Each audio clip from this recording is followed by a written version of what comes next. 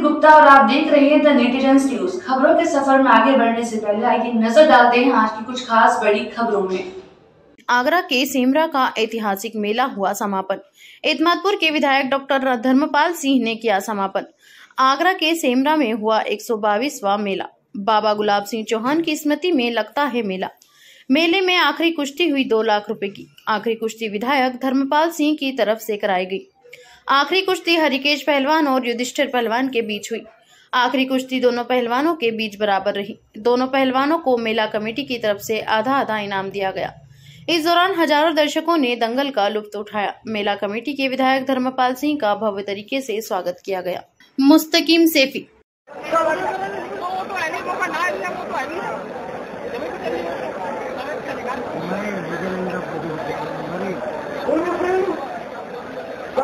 तो ये थी इस वक्त की बड़ी खबर, और अगर आप ऐसी खबरों से जुड़कर अपने आप को जागरूक रखना चाहते हैं तो जुड़े रहिए हमारे साथ द नेटिजन्स न्यूज़ पर लेकिन अगर आपने अभी तक हमारे चैनल को सब्सक्राइब नहीं किया है तो जल्दी से सब्सक्राइब कर दीजिए साथ ही साथ अगर आपको वीडियो पसंद आया तो लाइक और शेयर करना ना भूलें, और बेल आइकन को दबाना भी ना भूलें, ताकि हमारे आने वाली वीडियो से पहले आपको समय पर अपडेट मिलती जाए, और आप किसी भी जानकारी से पीछे न रह जाएँ।